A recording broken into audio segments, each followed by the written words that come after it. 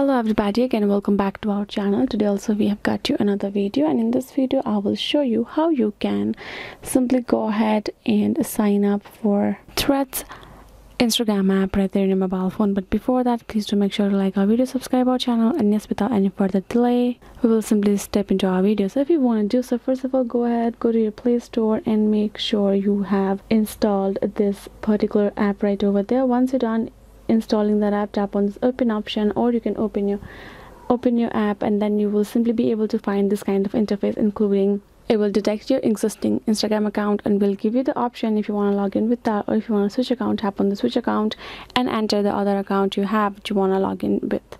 So for me i would like to log in with my instagram tap on that account and you can see it's login request sent. Now as you what you will have to do is you can see we have got the notification above right? So if you tap on this notification and if we allow so this is for like two-step authentication we have enabled in our instagram. So if you allow over here approve it we will be able to sign up right there in our threads easily. So if you got that you're gonna got two steps for you to sign up. If you do not then you can simply tap on your account and good to go. You can sign up right there in your threads app. So yes guys this is it. This is how you can simply do it. I hope this video was helpful. Thank you so much for watching and i'll see you guys in our next video